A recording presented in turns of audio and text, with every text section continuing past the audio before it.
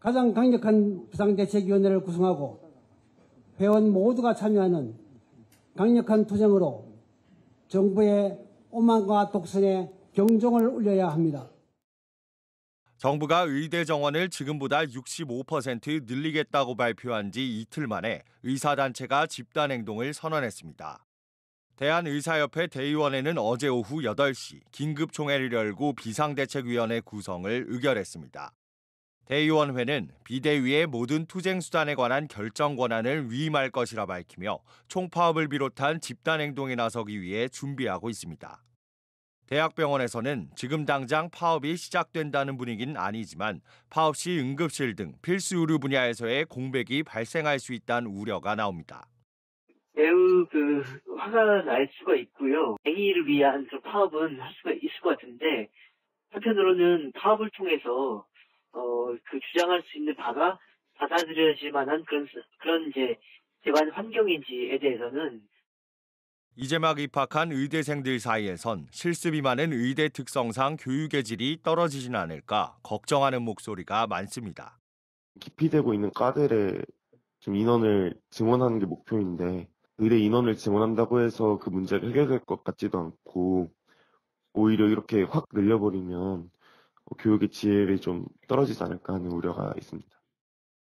어제 총회에 참석한 의협 관계자는 EBS에 비대위 구성은 최소 일주일은 걸릴 것이라고 밝힌 가운데 정부는 의사들이 파업에 나선다면 경찰 수사와 체포영장 발부, 면허 취소 등 강경 대응할 것이라고 경고했습니다. EBS 뉴스 서진석입니다. 정부가 19년 만에 의과대학 입학 정원을 확대하겠다는 방침을 확정했습니다. 현재 총 정원인 3,058명에서 65%가량 늘어나 5,058명이 되는 겁니다. 적용 시기는 당장 올해 대입부터입니다. 이른바 소아과 오픈런과 응급실 뺑뺑이 등 필수 의료 분야의 문제를 신속히 해결하겠다는 취지입니다. 벼랑 끝에 서 있는 필수 의료를 살리고 고령 사회에 대비한 의료 체계를 구축할 수 있는 마지막 골든 타임이 바로 지금입니다. 늘어나는 정원은 비수도권 대학에 집중 배정할 방침입니다. 지역 인재 전형도 현행 40%에서 60%로 확대합니다. 이렇게 되면 2035년까지 의사 만 명이 확충돼 정부가 15,000명가량 부족할 거라고 추산한 공백을 메울 수 있을 거란 겁니다. 저희가 그 교육부하고 학교별 배정에 있어서는 지역의 인프라의 현황이라든지 지역 간 의료 격차를 고려를 하게 될 것입니다. 의사단체는 즉각 반발했습니다.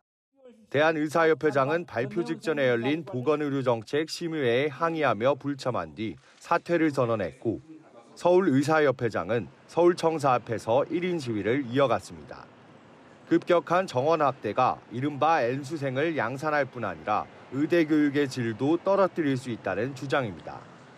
단지 강의실에 에, 책상 몇 개, 걸상 몇 개를 논다고 해서 해결될 수 있는 문제가 아니라 의대는 실습이 중요한 사항 아니겠습니까?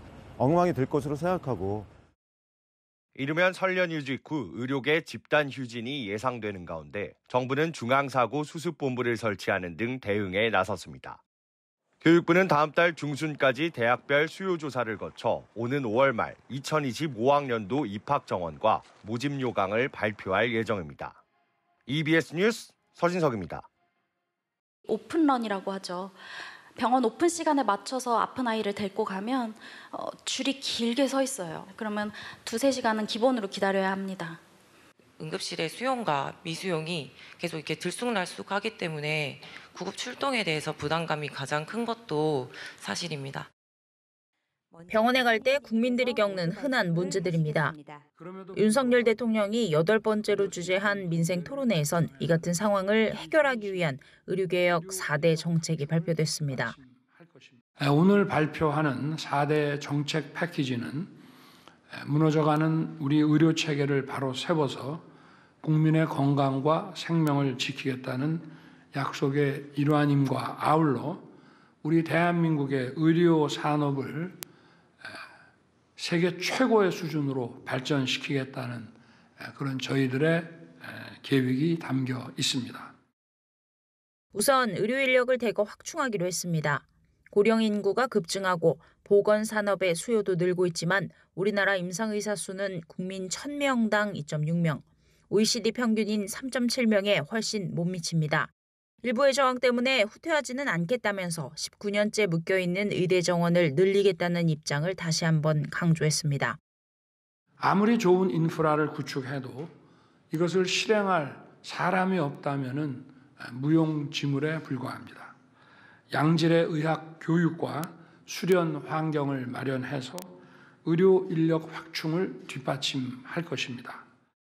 지역 의료를 강화하기 위한 구상도 밝혔습니다. 비수도권 의대 정원의 지역 인재 전형을 확대하고 지역에 정주하는 지역 필수 의사제를 도입해 대학과 지자체, 학생이 혜택을 나누겠다는 겁니다. 또 오는 2028년까지 10조 원 이상을 투자해 필수 의료 수가를 집중 인상하기로 했습니다. 수도권을 포함한 지역별 병상 관리 정책이나 자원 관리 정책들도 추진해 나갈 것입니다. 정부는 이와 함께 연내 의료사고 처리 특례법을 제정해 의료사고 안전망을 구축하고 의료인을 법적으로 보호하는 제도도 마련하겠다고 밝혔습니다. EBS 뉴스 최희연입니다. 전국 40개 의대가 당장 내년 입시부터 더 뽑을 수 있다고 밝힌 입학 정원은 최소 2,151명입니다. 의대들은 교원과 교육 인프라 등의 추가적인 투자가 이뤄진다면 최대 2,847명까지 선발할 수 있다는 입장입니다. 지난 2006년 이후 18년간 동결된 현재 의대 정원 3,058명에 70에서 93%에 이르는 수치입니다. 대학들은 이후로도 매년 정원을 늘려 2030학년도까지 최소 2,700여 명에서 최대 3,900여 명까지 추가 증원하기를 희망했습니다. 정부가 추진하는 의대 증원 정책의 첫 단계로 의대들이 제출한 증원 규모를 종합한 결과입니다. 이건 대학에서 의과대학 정원을 어, 숫자를 그만큼 늘리겠다고 하는 수요 조사라는 말씀을 다시 한번 어, 말씀을 강조드리고요. 이 정부가 이 숫자를 가지고 뭐 한다든지 이런 것들은 아직 결정되지 않았다. 의학과 교육, 평가 등 분야 전문가로 구성된 보건복지부 의학교육점검단은 현재 대학으로부터 제출받은 자료를 검토하고 있습니다. 점검단은 다음 달까지 권역별 간담회와 대학별 현장 실사, 면접을 통해 실제 증원 가능 여부를 확인할 계획입니다. 이후 복지부가 총 증원 규모를 확정해 교육부에 전달하면 교육부는 대학별 배정 규모를 결정하는데 2025학년도 모집 요강을 확정하는 내년 4월 전까지는 이 같은 절차가 모두 완료돼야 합니다. 일각에서 나오는 의대 신설 요구와 지역 의사제 도입 등에 대해서 정부는 앞으로 수요를 살펴 검토할 예정이라고 밝혔습니다. EBS 뉴스 송성환입니다.